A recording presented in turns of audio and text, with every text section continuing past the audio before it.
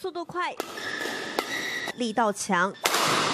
这是台湾羽球混双搭档宣方配的一大特色。世界排名第三十名的杨博轩和胡林芳，从二零一九年开始合作，而选择专攻双打，竟然是这个原因。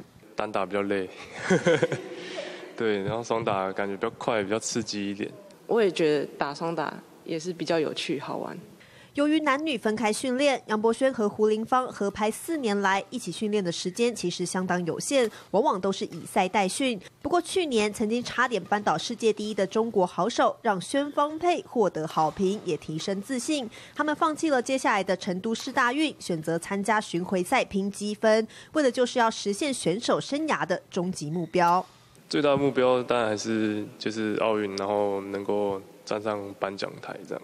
如果真的可以站上去的话，我觉得对我们来说都是一个很大的肯定。